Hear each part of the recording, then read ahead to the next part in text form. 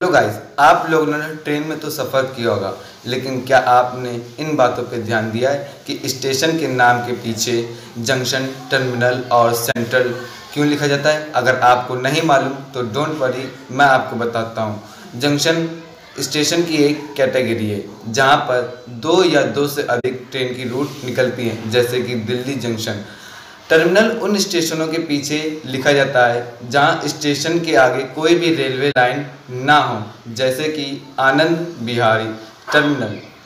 और सेंट्रल उन स्टेशनों के पीछे लिखा जाता है जो शहर की गतिविधियों का केंद्र हो। ये स, ये स्टेशन शहर का सबसे पुराना स्टेशन भी होता है। जैसे कि कानपुर सेंट्रल। गाइस क्या आपको उस स्टेशन की ये अमेजिंग फैक्ट पहले से मालूम था? नहीं मालूम था तो चैट सेक्शन में लिखना ना भूलिएगा।